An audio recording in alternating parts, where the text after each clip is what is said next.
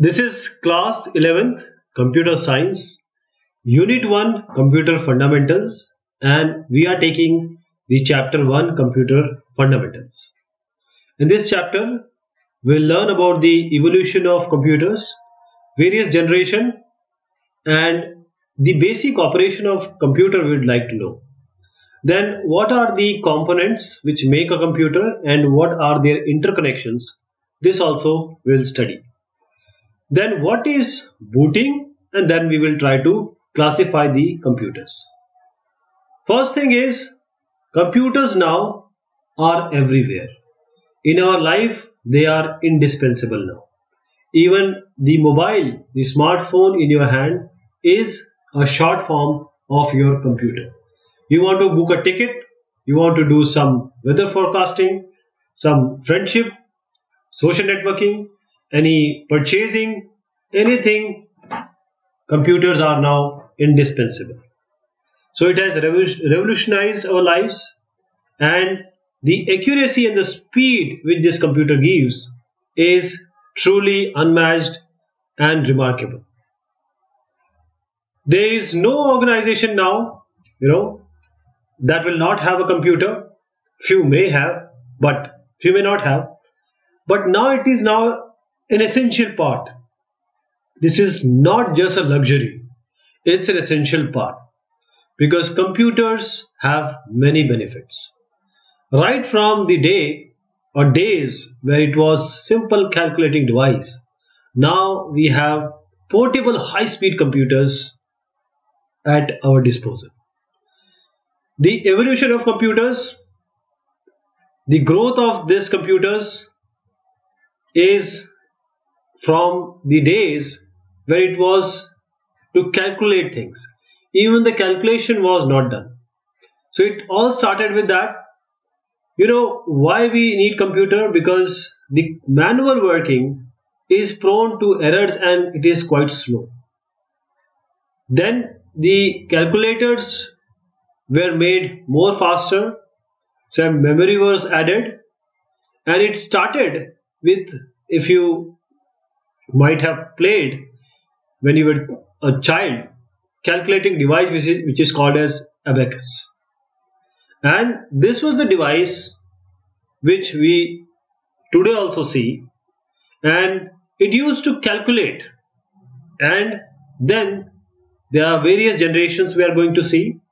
So this was abacus. Let us see what happened or how everything started this was discovered by mesopotamians in around 3000 BC and this abacus as you see in this uh, figure it consisted of beads. These are beads. And these are rods movable rods divided into two parts. First part second part. So the addition and multiplication of numbers can be done by using the place values of the digits of the numbers and the position beads in an abacus see? One these are the position. 1 3 5 2 9 6 4 7 0 9 0 8 from 0 to 9 that is 10 numbers are there. The chinese then further improved this abacus. Even today the young children they use it for calculation. Each row is thought of as tens place. And from right to left row number 1 this row number 1 this represent one column and second column represent tens place, the third hundred place and so on and so forth. So the starting position of the top beads representing the value of 5 is always towards the top wall of the abacus while the lower beads which represent the value of 1 will always be pushed towards the lower wall at a starting position. Now Napier's logs and bones as you can see here, the idea of logarithm log, log E, log 10 was developed by John Napier. So he devised these numbering rods, we also call it as Napier's bone, through which multiplication and division can be performed. So these were numbered rod which can perform multiplication of any number by a number in the range of 2 to 9. So there are 10 bones corresponding to the 0 to 9 and there is also special 11 bone which is the multiplier.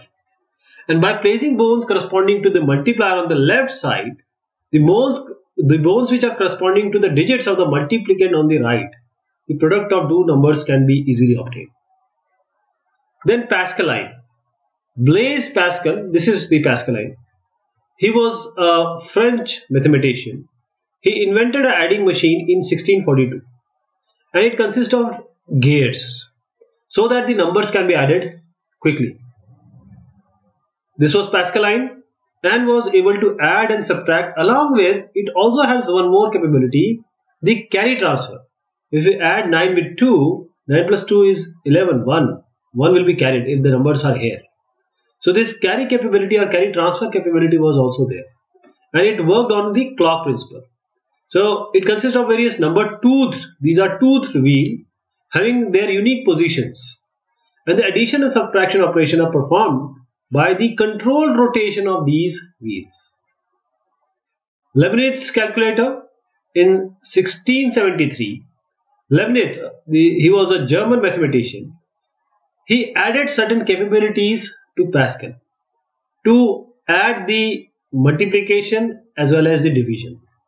So the multiplication was being carried out through repeated addition of numbers using a stepped cylinder each with 9 teeth of varying lengths. Jacquard's loom. Now this was the I can say a paradigm shift. How it happened? Mr. Joseph Jacquard, in order to make his cotton weaving process automated or automatic, he devised punched cards and then he tried to control these looms in 1801 and everything was program control. This was an historic invention and it has concept of storing also retrieving information. Then we had the father of computer Charles Babbage. He was an English mathematician. He developed a machine called difference engine. Difference engine. This was able to calculate various mathematical function. Also do the polynomial evaluation by finite difference and also theoretically, not practically, but theoretically it can also solve differential equation. This is your differential engine. And in 1833 thereafter he designed an analytical engine. And this was the basis of the modern computer. So this machine can perform all the four arithmetic operation plus minus division multiplication. And it also has a central processor memory storage and input output devices concept even the stored information now can be modified this analytical engine was never built, but the, the principle, basic principle which Charles Babbage has established, today's modern computers, they work on this only. This is why he is the father of modern computers. Sir Charles Babbage. Mark 1. In 1944, Professor Howard Aiken, he collaborated with IBM. IBM we also we already know. He, these this company is a giant in making all kind of computer equipments. IBM constructed an electromagnetic uh, electromechanical computer. He named it as Mark 1. Now it can multiply 10 digit number in 5 seconds. And this was truly based on Babbage analytical engine and it was the first operational general purpose computer which could be which could execute certain instructions which were pre-programmed without any human intervention in 1945 dr john von neumann he proposed a concept to for stored program computer. And according to the concept, the program and data could be stored in the same story, uh, same storage memory unit. And the basic architecture of this von Neumann computer is like this. Processor, there is a communication channel, you have program and data in the same story. This is von Neumann architecture. We also have Harvard architecture, etc. According to this architecture, von Neumann architecture, the processor execute instruction which are stored in the memory. And because there was uh, only one communication channel, the processor at once or at a time, it can either fetch data or an instruction. So instruction are the instruction or the orders which are given for certain data to be fetched and the execution can be done or operation can be performed. So at one time either the data can be picked or the instruction can be taken up. So it was sequential in nature and this uh, limitation actually was called as von Neumann bottleneck. We'll not talk about this bottleneck actually this gave birth to uh, various new inventions but what he made is incomparable. It was delightful. It is what which, which we are using now. EDVAC, Electronic Discrete Variable Automatic Computer. This was the first stored program computer developed in 1952. And after the invention of first electronic computer, ENIAC, Electronic Numerical Integrator and Calculator in 1946, the computer technology, it took an exponential growth and it went very fast at very fast pace. Now we'll see the generation of computers. How this generation has come? This generation is characterized by some hardware or software development that has given a paradigm shift or you can say it has given an immense improvement in the performance of the computer. And based on these stages, computer can be divided into different generations. We'll talk about these generations now. First generation 1942 to 1955. The first generation computer used the concept of store program and these were characterized by the vacuum tubes. So vacuum tubes were actually delicate glass device that can actually control and also amplify the electronic signals. So though this uh, first generation computer were made using thousands and thousands of vacuum tubes. And at that time they were the fastest calculating devices. These were very large in size consumed a lot of electricity a lot of heat they produce so univac 1 is the first electronic computer of this generation and was used for business applications so the salient feature of first generation computers they used vacuum tubes to control and amplify electronic signal and they were very huge. They occupy a lot of space. The electricity consumption is quite high and the heat generation was immense. Because the hardware technology was not that developed so it was quite unreliable. And the production, commercial production was quite difficult. Very costly and it needs to have con constant maintenance air conditioning was required. And the programming was done in machine language. By the end of this generation, assembly language has also come. So ENIAC, EDVAC, UNIVAC 1, these are all the first generation computer. In fact, ENIAC weighted 27 tons. The size was 8, 8 by 100 into 3 feet and consumed around 150 watts of power. Then came the second generation, 1955 to 1964.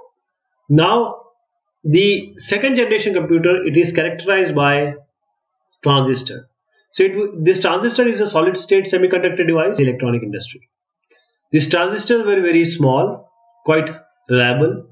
They consumed less in electricity and the heat generation was also less. Also, the magnetic core memories were also developed during this generation. And these magnetic uh, core memories were actually tiny ferrite rings like this. And this can be either uh, you know clockwise or anti-clockwise direction they can be magnetized and the binary 1 and 0 can be stored here and these magnetic cores were the primary memories. Then the magnetic disk came into existence and they were called as secondary storage device. So these development like transistor magnetic core memory and magnetic disk storage this made the computer more powerful and more reliable. Then the existence of operating system also came into existence and the languages Fortran, COBOL, ALGOL they were also done. The computer was used for commercial application for business industries like you know small application payroll employee management inventory control. So IBM 1401 IBM 1620 these are the popular computers of the second generation. The salient feature of second generation transistor based technology, smaller, less expensive compared to uh, the first generation, less electricity, less heat, magnetic core memories and magnetic disk. These were primary, these were secondary. First operating system OS was developed and the programming in assembly language and later part high level language which we just discussed were used. And the commercial application of this uh, started, but the production was quite difficult at that time also. And it also, it also required constant air conditioning. All these are examples of second generation computer. Then the third generation. In 1964, ICs, integrated circuit. This again revolutionized the electronic industry. Actually, you know, computer is what? Computer is an electronic device. So whatever changes are there in electronic industry, it directly affects the computer.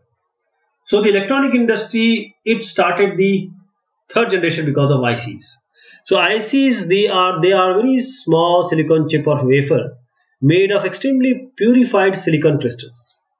So it has numerous transistors, capacitors, and resistors on an electronic circuit. The SSI and MSI, this SSI small scale integration chip, they used to have about 10 transistor on a single chip msi 100 transistor on a single chip 100 the size of memories also increased and various mainframe and mini computers were developed during this generation. The operating system which uh, started in second generation now enhanced to multitasking and multi-programming features. We'll see about this. The ics were very reliable very inexpensive faster and they were used they, or the computer were used in the areas of education small businesses and offices along with their industrial and business application so IBM 360 Honeywell 6000 series these are all third generation computer and the salient feature of third generation computer is they used IC integrated circuits the computers were smaller faster and more reliable and the power consumption was low and the heat was less. Then we came to fourth generation 1975 onwards.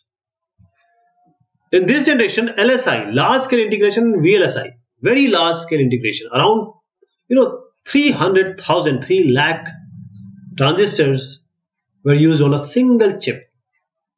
So the integration on a single chip of a CPU was achieved in 1971 and this was named as microprocessor, which actually marked the fourth generation. The computer based on this microprocessor technology were very fast, the speeds were immense. And also the memory capacity were increased, they were efficient operating systems, and the microprogramming, the application software, databases, virtual memory, these all concepts were in fourth generation. The computers today we have mostly are of this generation. Also the portable computer. Memory sizes have decreased and commercial production is quite easy. Quite least expensive. Uh, if you compare it with the previous generation.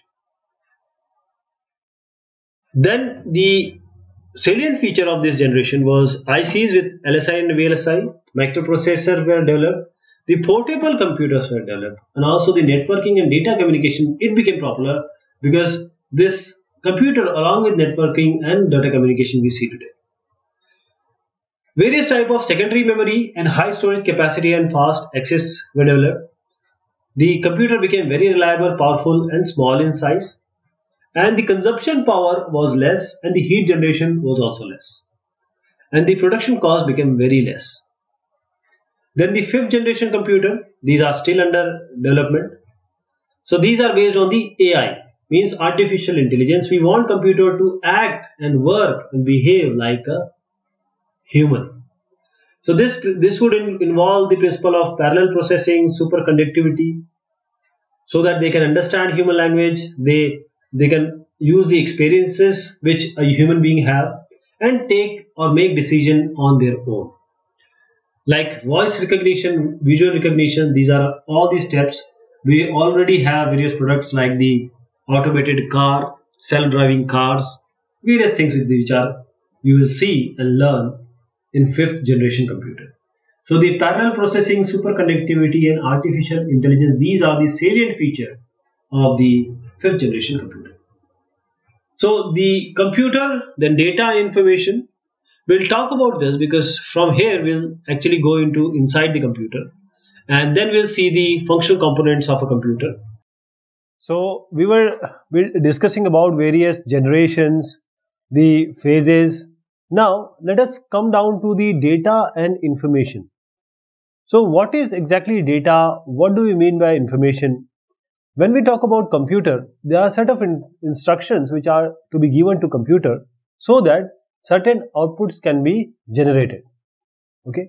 So this computer is not only limited to computation like uh, arithmetic. Apart from this, you can do weather forecasting, you can book uh, various tickets and even play games. There are so many, you know, these are just few. So data is what? When you collect certain facts and figures and this is called the raw data. For example, if you collect some data like this, Raju and uh, 9 is the age of various uh, figures you have obtained.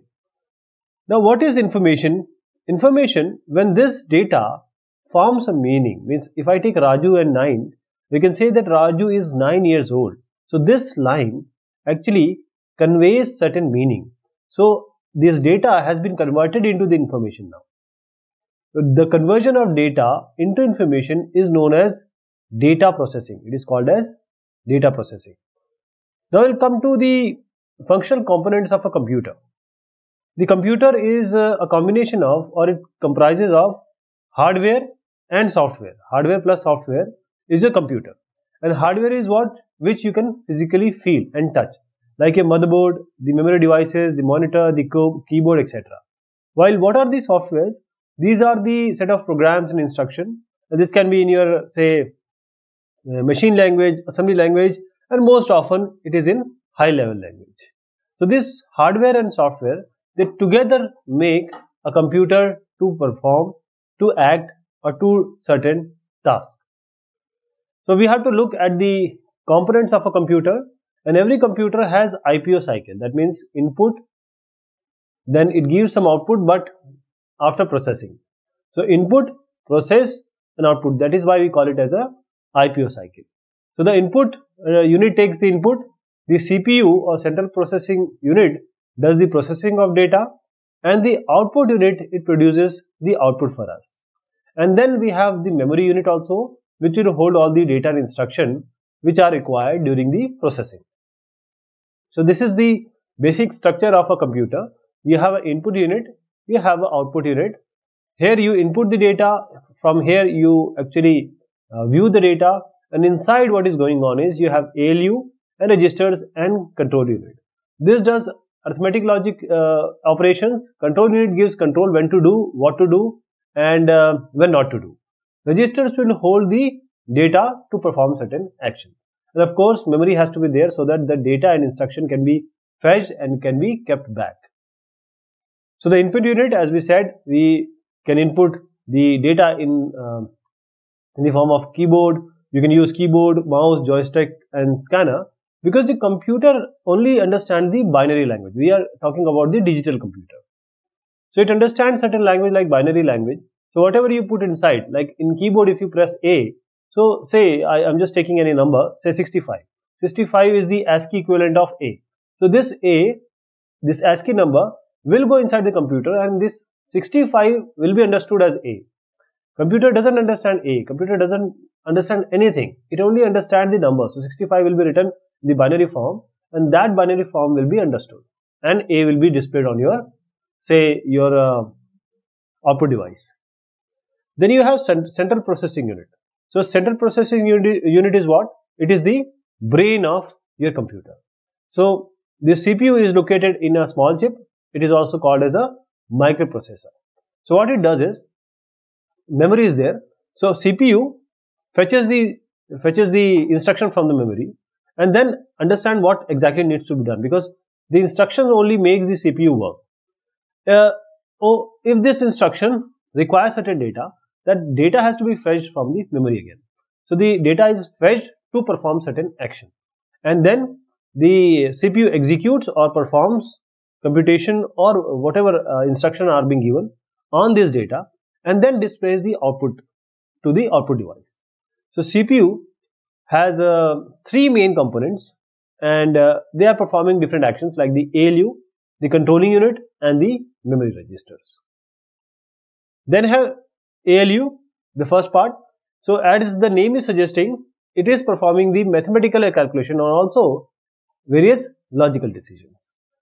Arithmetic calculation means all the addition, subtraction, multiplication and division and logical also which is smaller which is greater like comparison means A is greater than B like this or you know A is not equal to B like this. Control unit. Now whatever is happening has to be coordinated. Who coordinates where the data is going, when to fetch, when not to fetch, when the fetching has to be done, when the uh, retrieval has to be done. This is uh, controlled by the control unit. So control unit controls all the operations of ALU, memory registers and input output unit. And also it is responsible for carrying out all the instructions stored in the program. So the CU um, actually decodes the fetched instruction. It understands or interprets you can say and send control signals on, on uh, the understanding of this to the devices input or output until the op required operation is done properly by the ALU or the memory. ALU does, does the work with, with the help of memory. Then you have memory registers. So these are registers or these, see, see uh, the basic unit is flip-flop. Flip-flop. Now this flip-flop is able to uh, contain or store one binary unit like 1 or 0. So if you combine various flip-flops, say 8, I am just taking an example, 8 uh, flip-flop, then it becomes a register. So these are the register where the information will be stored temporarily. So this uh, uh, memory register, they receive data and information. Then this data and information are held as per requirement. So the register, as I said, it can be of 8, 8 bit, it can be of 16 bit, so you have 16 flip flops like this. So it can go up to 64, but now we have 128 bits also. So this CPU has specific function. Each register has certain function like storing data, storing an instruction, storing address of a location in memory. So each register have certain task which is given to it. You know, so the user register like can be used by assembly language programmer for storing the operands means which needs to be operated. The results which are generated in the intermediate uh, steps. The ACC which is very important. This is accumulator is a main register uh, in your ALU and it will contain one of the operands of the operation to be performed in the ALU. Like if you have to do 2 plus 3. So 2 will be kept in ACC. This 2 will be kept in ACC and say 3 will be some in B or C register and then the addition will be done and after the addition the accumulator will contain the result so it will have 5 like this then the memory so memory of course you have to uh, store the data and instruction. You know you can have various memory like the register is one of one kind of memory which is inside your CPU then you have cache memories after uh, CPU so we have level 1 level 2 level 3 caches etc then you have primary memory. Primary memory is the main memory. So you have to actually place the data or the data has to come to the primary data so that CPU can actually work on it. All the data which CPU work on is has is and has to be in a primary memory so this is a mm, volatile memory so if the power is switched off primary memory will not contain the data uh, it will be refreshed and uh, we have this uh, primary memory as RAM random access memory and it is volatile. So if you switch off the power, the memory is permanently erased. Now you have secondary memory after this, these are the levels. Register, then cache, then primary, then comes the secondary. The secondary memory is, uh, is that memory which actually permanently stores the data and information. Like you have uh, the hard disks, compact disks, pen drives, these are all the secondary memory. Then you have, of course, the output unit. Certain um, CPUs which doesn't produce result also. You know, you don't have to see it. it. You just have to give the input and it will perform. So if you want to see the output also, then you have monitor, printer, plotter, or these are the output devices. So there has to be some interconnection between uh, function computers and these are interconnection nothing but these are wires. If you have a chip, then you will see some line like this. These are nothing but wires. From there the data will flow. Where, from where the instruction will flow. From where the control units or control instruction will flow. Or control signal will flow. So these are nothing but wires. If you see, if you open the computer, you will see various wires. You know, these are wires, nothing but the buses. We call them as buses. So we have common bus architecture as we'll just see in the figure coming uh, right now. But I have to tell you that there are three main buses, address bus, data bus and control bus. And the name is suggesting what it does. So do you have this system bus? Here you have this, uh, you know, CPU, you have main memory. So system bus will take the data, you know, send the data. You have various controllers uh, for input output devices. You know, input output devices, they, they can be plug and play and means you you just insert it in your say USB uh, port or uh, PS2 port and it will work. So you ought, ought to have a controller so that the operating system or the system can understand what is going on. So there has to be some controller in between. The address bus carries the address in, uh, location of the data or instruction, address bus. The data bus carries data from one component to another. And what does this uh, control bus do? It carries the control signals. As we have seen in the figure, how this uh, transmission does take place. Now we come to a very important topic which is the booting. When your computer, when you switch on your computer, then it takes some time, maybe in seconds or minutes. When after which the computer completes the completely is usable for you. So that time or that um, uh, situation is known as booting. You have a see you open your computer it, it gives you HP your friends open it gives you IBM so how what is the difference between these two? So the there are certain programs which are already written in the ROM. Means these are programs which are being shown to you and these are being uh, pre-programmed. So this all will come in your screen which you see. This is booting so what happens please understand first of all this CPU first runs a jump instruction. What jump instruction does? It will transfer to BIOS, basic input output system, so that it starts executing. Then this BIOS, it conducts various tests, which are called as self-diagnostic test, which are known as POST, power on self-test. And what are these tests? It tests that whatever devices are connected, whatever is inside, whether they are uh, working fine or not.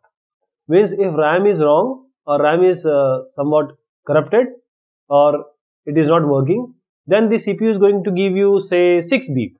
So you can understand that the POST has failed or on self-test has failed. So these tests, diagnostic, self-diagnostic test which the CPU does or your system does, it include the memory test, configuration and uh, starting of say video circuitry, and all the hardware is a device check.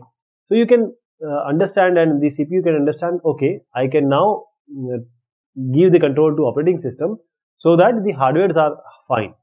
Then the BIOS locate the bootable drive to load the boot sector. So this execution is transferred to the bootstrap loader program on the boot sector. Boot sector is the sector where booting starts, which loads and executes the operating system. Now the operating system has to come to this position so that the things can start. So if the boot sector is on the hard drive, then it will have a master boot record, will, which will check the partition table of the active partition. And if it is found, MBR loads the partition boot sector and then execute it. So booting process are of two types. It can be warm, it can be cold. let us see what this cold booting and warm booting means. So cold booting, when the system starts from initial state, when it is switched on, we call it as a cold booting or a hard booting. Means you have a system which is switched off, you press a power button, the instructions are read from the ROM and uh, the booting process is initiated. This is cold booting. What is warm booting? You don't switch off the computer from the initial. Means when you restart the system, your system is already running. Means operating system is already, already working. The systems are working. The hardware are at place and they are working fine. And uh, you're working. Maybe sometimes you need to restart it. So when you restart it or you put the reset button, then we call it as a warm booting or soft booting. And now the system will not go to the ROM because it does not start from the initial state. It will not do all the diagnostic test. So there are chances of uh, data loss and system damage if you if the data uh, which you uh, you are working on is not stored properly. Then we'll uh, go to the classification of computers. See, the major classification are in terms of digital, analog and hybrid. So what is what is exactly digital computer? These uh, computers they are capable of processing information in its discrete form. Means all the letters, symbols, the numbers, the, these are understood in the form of zeros and ones only. These binary digits are easily expressed as presence, say 1, absence, say 0. That means, for, uh, for example, I am taking 0 volt can be taken as uh, 0 or plus 5 volt can be taken as 1 because computer is an electronic device and it works on voltages. So it computes by counting and adding operation and this digital computer they are used in industrial, business, scientific applications. If you have large volume data processing they are very suitable. Then analog computer.